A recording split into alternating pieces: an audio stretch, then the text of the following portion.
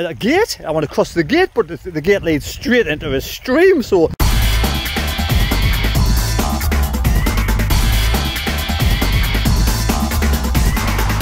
Here we go, back again with another match day vlog. Yes, I'm out and about on my run today. Nice run in the morning. I've got to go to Asda in a bit to do the weekly shopping and get a few cans for the live stream. As you see, it's daffodil heaven. It's daffodil heaven, but it's Good Friday. Now, I'm going to stay off the meat today on Good Friday. Have a little bit of fish during the day. I've had Weetabix this morning, a little bit of fish later on, vegetable pizza, that kind of thing. Am I religious? Well, I'm Catholic, but I'm, you know, I lost my faith a long time ago. Did I lose my faith? Not really. I'm not quite sure. I'm like sort of open to suggestions. What do you think? Do you think there's a higher power? Do you think there's a God? I love to think there is a higher power out in this world. But I kind of doubt whether there is. But let's hope there's a higher power. It's with Lee Johnson and the Sunderland side and we can get promoted back to the championship. So when I was a little wee kid, I used to go to church with my parents, well my mum anyway, because my mum's very Catholic, my, my, grandparents are Catholic and I was brought up Catholic. But when I turned 11, my parents got divorced and we stopped going to church and we kind of lost our way a little bit. The path is straight and narrow, as you can see, people who are religious, everyone, each to their own. There's no right or wrong, you know, if you want to be religious, or not whatever you want, you know, at the end of the day, you live your own life, you enjoy your own life. And at the end of the day, when you're taken away from this world, you know, you have to pay you have to, you may have to pay. Do you have to pay? You may have to pay a penance, you may have to pay, you know, see the big guy upstairs and he'll decide whether you go to hell or heaven. Hopefully, hopefully, like I said, there's a higher power, or is there only one power at Sunderland, and his name is Maximus Power, the captain of Sunderland. Can he drive Sunderland forward into the top two position today with a victory against Oxford? I'm going for a 2-0 win. Can Peterborough slip up? Will Hull slip up? We have four goals difference worse off than Hull. Level with Peterborough. It's all about results. We need the gear. I'm very nervous. I, this is the most nervous I've ever been, you know, in, in, in, in, two games coming up with 10 games to go. This is the squeaky bum time. This is where it really matters. Where it really matters, and we need at least four points from these two games. But I say I'm going for 2-0 win against Oxford. You know, respect the Carl Robinson and the Oxford side playing good football coming through now compared to the bad start of the season. I do wish Oxford fans all the best one Oxford fan I don't really wish all the best is Stewart Donald. Stewart Donald, yes. Who would he really want to win today? Sunderland or Oxford? Hmm, I don't know. I really don't know with this bloke. Well, let's hope the Sunderland side, if there is a higher power out there, is not struck down today against Oxford because we desperately need the three points. Nobody has the divine right to win a game of football. To win the league, you have to earn the right to win a game of football. You have to earn it. You have to have the dedication. You know, you have to have the will, the want, the drive, the ambition. And I think Lee Johnson and KLD has that kind of drive and ambition to take Sunderland forward into the championship. And like I said on the Sunday bunch or the Thursday bunch, I don't think KLD wants to get promoted to the championship to be in the bottom of the table. I think he will pull Sunderland through first season if, a big if mind, we get promoted to the championship, I think we will be mid-table next season. Like I said, I'm out at the bottom of run. I'm about to go to Asda now, do a bit of essential shopping. I will show you what's in the trolley today. But like I said, I am a little bit religious. I was brought up religious. Everyone, it's every, not everybody's cup of tea, and everyone, you know, everyone has their own opinion on everything in the world, and we all respect everybody's opinions. Well, we should anyway respect their opinions as long as they're law-abiding citizens. I said before, I do hope there's a higher power out there, but at this moment in time, the only power we have to believe in is Maximus. Right, I'm off to Asda, catch you in a bit. Like I said, I'm out on my jollies today, I'm for a run, just about four mile, and I've come to a, a little a, a gate. I want to cross the gate, but the, the gate leads straight into a stream, so I won't be crossing that stream. But like Sunderland, I want to bridge the gap to Peterborough and Hull. But oh look, there's a bridge over there. That bridge is the gap. Let's get over the bridge and we'll catch you in a bit. Well here we go, it's match day. I'm off to Asda, do a little bit of a centre shopping and try and find a few cans for the live stream. Oh, what's in the trolley so far? Crisps, pop, waffles, bread. I'm sure there's some chocolate in there somewhere. And now I'm going to my favourite aisle, which is the alcohol aisle. There we go, nothing more satisfying than a boot full of food. Apart from my wallet isn't very happy now.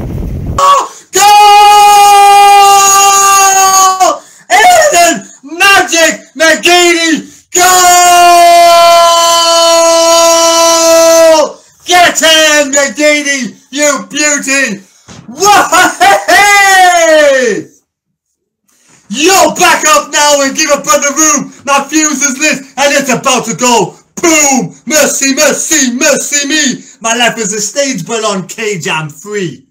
My life is a cage, but on... Here we go, back again with another match review and it's finished Sunderland 3, Oxford 1. And I put a coupon on today. I put £5 on Sunderland to win, Portsmouth to win, Peterborough to win, Hull to win.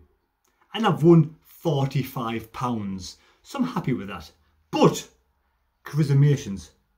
Charismations. Charismations. Charis I can't say the word. I said it, I said it on my live stream. I nailed it on my live stream. Charismations.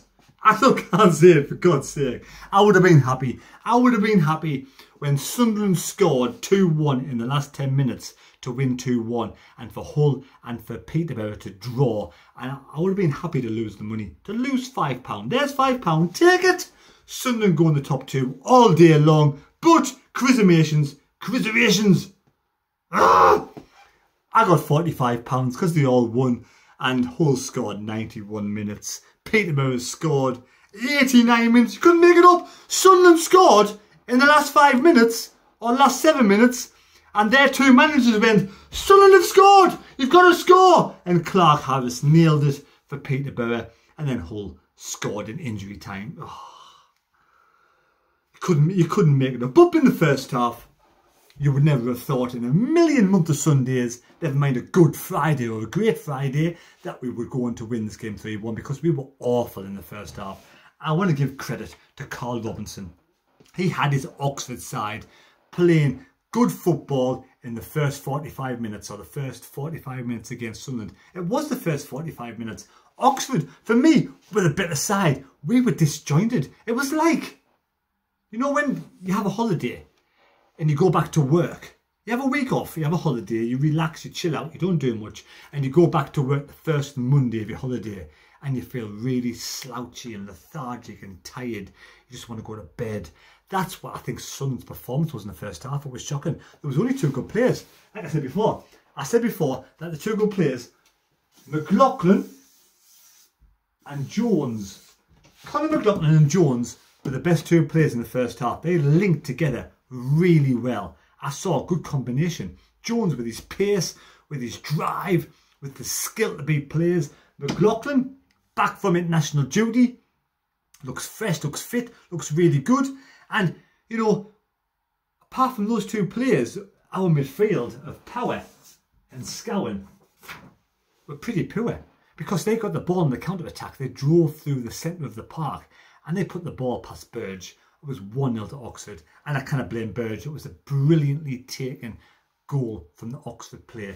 Well done, Oxford. The first half, you deserved to be in front. You deserved to sort of, you know, end of the day, you played us off the park in the first half. This, this is my opinion. Apart from the two players, Oxford were the best side, but with seconds, dying embers to go in the first half.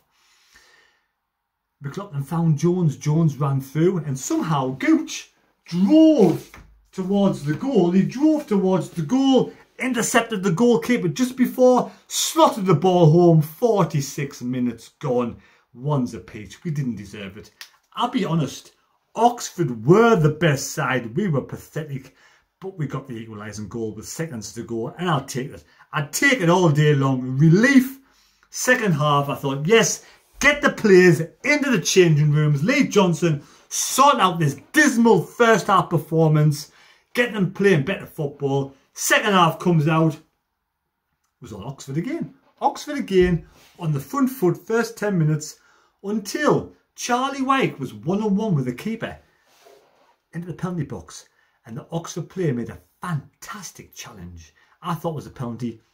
You know, Mr. Danny Collins and Mr. Fredericks on the on the SFC live stream thought it was a penalty, but it wasn't. It was an amazing challenge from the Oxford defender. Well done. One or two of their players had a yellow card in the first half. Bit of, bit of shenanigans here and there. Straight from that free kick, they went forward into our penalty box. Luke O'Nien gets the ball. Their player goes in with two foot, Sykes, two footed challenge, hacks down Luke O'Nien. Referee, red card to Sykes. They go down to 10 men. Referee, Carl Robinson, is sent off. They go down to 10 men with the with their manager off the pitch as well, off the sidelines. And then we had, it was Gooch, right hand side, was moved back to right back because Conor McLaughlin was taken off. It was substituted. It took one for the team, taken off. Gooch was moved back to right back and we brought on we brought on Ross Stewart up front. But with Gooch right back, he drove down the right hand side got the ball in the box, cleared, come to McGeady, or did it go to the right hand side? And, and, and Gooch found McGeady, McGeady straight in, right foot, bang, bottom right hand side corner of the net. 2-1 to Sunderland. And at that moment in time, I mean, Jones hit the crossbar before that as well. At that moment in time, it was 2-1 to Sunderland. Hull were 1 to Peach.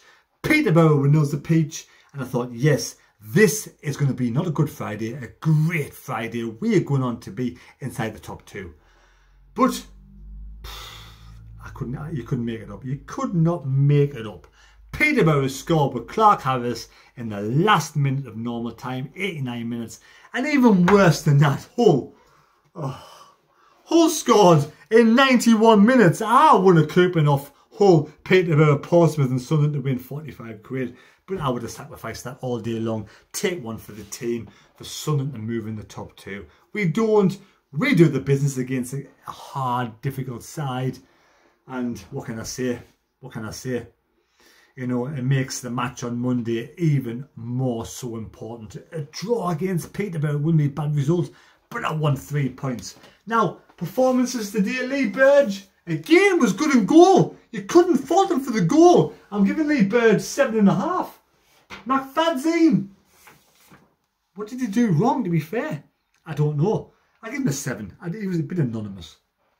McLaughlin, for the time he was on the pitch, coming back from international duty, he's probably tired. I give McLaughlin an 8. Sanderson O'Nien, good double pairing, centre of defence. Do you want O'Nien in defence and midfield? That's another subject to debate. Both of them, seven and a half. Then we go on to Gooch, got the goal. Didn't do great, but he got on the right hand side, fed the ball to he got the goal. Assist. He got he got an assist. And he got a goal. Gooch got an assist and a goal. So you cannot you cannot knock the lad. You cannot knock the lad. He gets a goal and he gets an assist. So what do you do? What do you do? Even though I thought Jones was good, I'm going to give Gooch eight and a half eight and a half out of ten. I thought Gooch today, you get an assist, you're getting a goal. For me, you deserve to be man of the match. You do. You have to be man of the match. You get a goal and you get an assist, you deserve man of the match. Scowen, a bit anonymous. One or two gritty challenges, one or two times to give the ball away. I'm going to give him a six. Power, got his goal towards the end. Clean one-on-one with the keeper. Shot, keeper saved it. Back on the net. Power, six and a half wasn't fantastic, but he did he did a captain's role. And when he scored the goal, he went down to the dugout, went down on his knees, and he celebrated. And like I, he won the lottery. So I know credit where credit's due. Credit where credit's due. We'll give him a seven, a seven out of ten. Wyke, you know, I didn't get much, didn't get much sort of sort of help, assists. So we give Wyke, you know, he, had, he didn't have a great game, didn't have a poor game. We'll give him a 7. McGeady with the goal, because he had a poor game before the goal, we'll give him a 7. Jones, I thought Jones deserves an 8. Jones looked good. He looks, he looks effective, dangerous, pacey. Balls in the box, hit the crossbar, did everything but score. We'll give him an 8. Players who came on, Maguire did really well when he came on. Led bit a couple of seconds. Stewart First touch header straight to the keeper. So overall, we finished Sunderland 3, Oxford 1. We don't change in the table. We get one goal difference above Peterborough. We bring back Hull, Hull plus 3 over Sunderland. And we move on to this massive, massive match on Monday against Peterborough. Which way is it going to go? I don't know. I don't know. We just hope we do not lose. Thanks for watching the video. Please subscribe to the channel. Please take care. God bless. And may God go with you. New channel coming up soon. It's called Mad's World. I will leave the link down in the description. Please subscribe. Take care and we'll catch you later.